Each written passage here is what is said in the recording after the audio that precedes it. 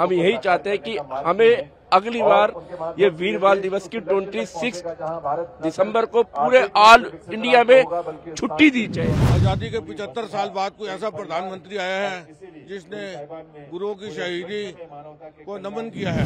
जब कहा जाए या धर्म छोड़ो नहीं तो तुम्हें ज़िंदा नीहों में चिन दिया जाएगा। लेकिन आप सोचिए कल्पना कीजिए कि इतनी नन्ही जाने सात साल और नौ साल की उम्र हो लेकिन धर्म नहीं छोड़ा। भारत के प्रधानमंत्री श्री नरेंद्र मोदी जी ने इसको राष्ट्रीय दिवस के रूप में वीर बाल दिवस के रूप में उनको समर्पित करके मनाना किया और आज पूरे देश के अंदर एक नया इतिहास रचा जा रहा है। धन्यवाद देते हैं प्रधानमंत्री मोदी जी का कि उन्होंने इस शहादत को मनाने का पहल की है और देश भर में इसको वीर बाल दिवस के नाम से मनाया जा रहा है। देखिए जी, हमारे लिए बहुत बड़ी गर्व की बात है कि हमारे जो छोटे साहबजादे, साहबजादा जोरावर सिंह जी और साहबजादा फतेह सिंह जी, जिन्होंने इतनी बड़ी कुर्बानी दी, ये आज तक की सबसे बड़ी ऐतिहासिक कुर्बानी है। ठीक है?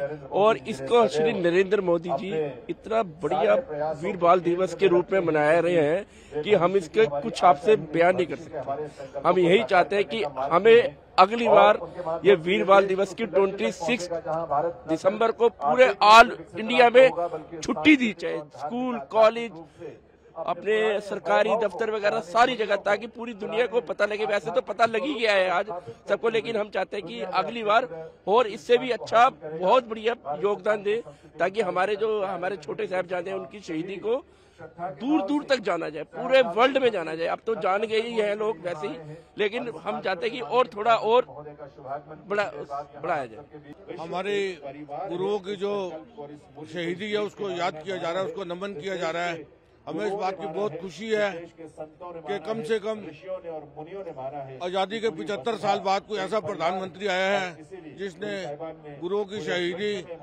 को नमन किया है।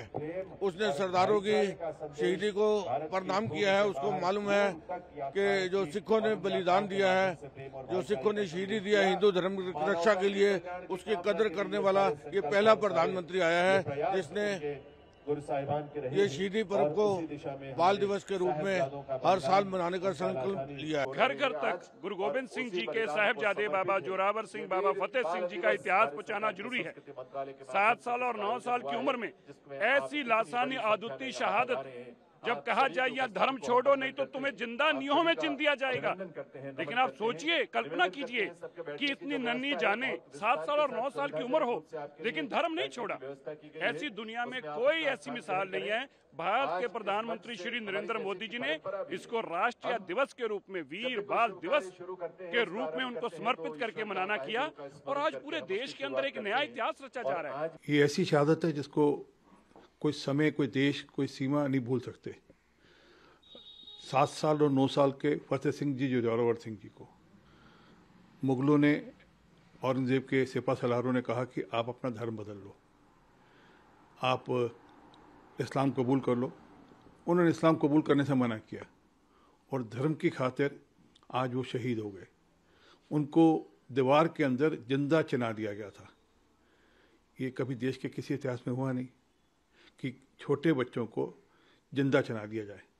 ऐसी शहादत जी, ऐसी शहादत को प्रधानमंत्री मोदी जी आज मना रहे हैं। हम धन्यवाद देते हैं प्रधानमंत्री मोदी जी का कि उन्होंने इस शहादत को मनाने का पहल की है और देश भर में इसको वीर बाल दिवस के नाम से मनाया जा रहा है। ये सिख इतिहास का पन्ना नहीं है, ये देश की उस इतिहास उस इतिहास का पन्ना है जो देश में धर्म की लड़ाई के लिए लड़ी गई। वो मुगलों के खिलाफ, इस्लाम के खिलाफ धर्म की लड़ाई की लड़ी लड़ी गई, क्योंकि वह चाहते थे कि पूरे देश में धर्मांतरण हो। और छोटे साहबजादों ने उसका जवाब अपनी शहादत से दिया।